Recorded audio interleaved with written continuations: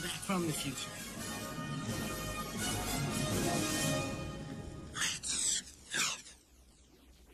So we got the final results from the clothing drive today, and from what I heard from Christy Parsons, who was running the whole thing, uh, as a whole, Walden donated over 1,700 items.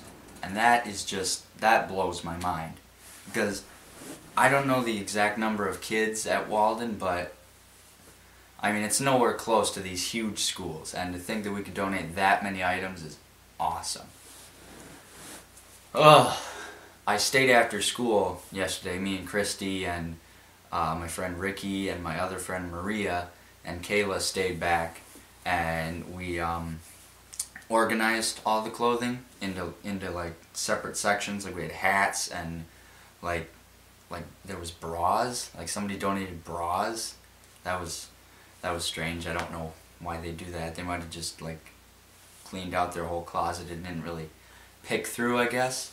Um, but yeah, that felt good. That felt really good.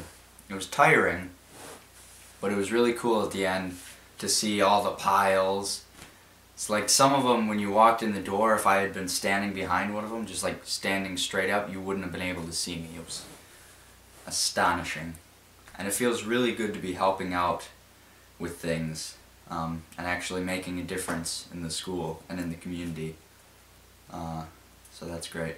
Tomorrow after school we're going over to have a meeting with Paul Ryan. Uh, we made all these Valentine's cards for him and we're going to talk to him a little bit about uh, climate change which hopefully will make some kind of impact on that because that'd be that'd be great. Um, and I think we're going to be filming a little bit too tomorrow. So, that's cool.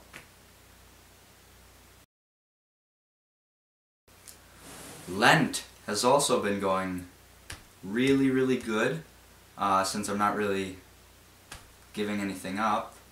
Um,